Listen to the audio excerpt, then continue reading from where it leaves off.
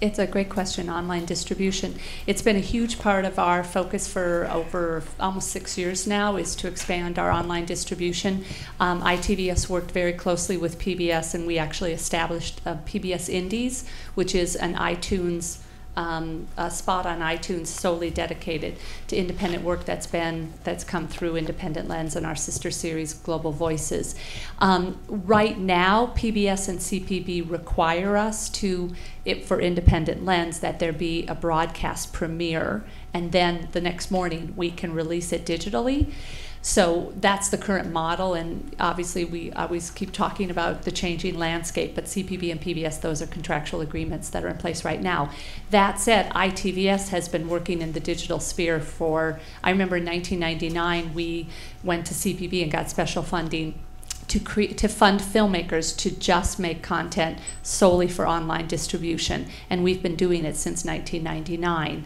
And we have a digital um, uh, distribution platform for our drama initiative, for example, Future States, which are 15-minute short films. We're in our third season, and Future States is just a digital distribution outlet, and extraordinary short films by some of the best uh, uh, narrative filmmakers in the country, um, and it was partly by design because obviously as you know doing narrative films is so expensive but it was also to take advantage of uh, the opportunities of being in digital distribution.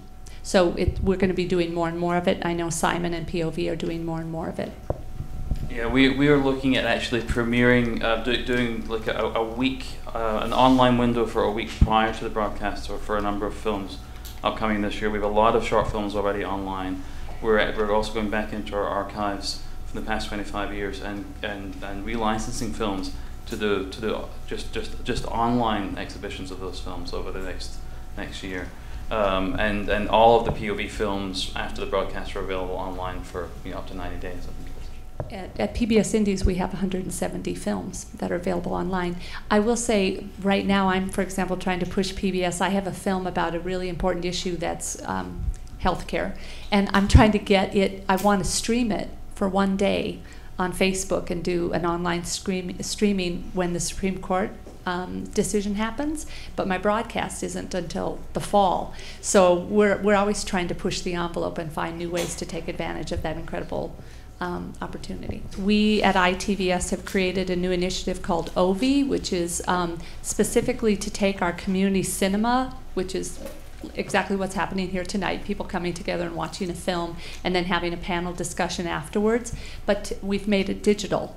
So you can now watch uh, an ITVS film or films from across public television. We're actually working with a masterpiece right now on doing an episode of Downton Abbey and audiences across the country will watch it online together. And while they're watching it engage online in conversations. So um, and we've launched ov i think jim it's been out now two months and we're building on it. And there'll be much much more of that happening. And again it's an itvs spearheaded project but it's across the public television spectrum. It's not just independent lens or pov in terms of itvs we've also felt really strongly that we wanted to support filmmakers to enhance the work they're doing doing in transmedia. So we actually fund filmmakers with a separate pool of uh, money people who are doing different uh, apps, games, you name it, um, that enhance the content across transmedia platforms. So we encourage filmmakers to come to us with ideas, and the fund, the projects that we already fund,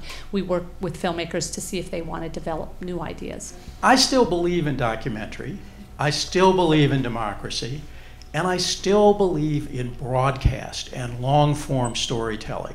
That everyone can go and find what they want on the internet is not the same thing of everybody seeing these films on Monday night at 10 o'clock and talking about it the next day because everybody experienced it. And maybe not everybody who holds the same opinion experienced it. So I think there is something still to be said for broadcast. I don't care about the technology. It may be over a wire, it may be through the air, but it's the, that idea that everybody experiences something as a society.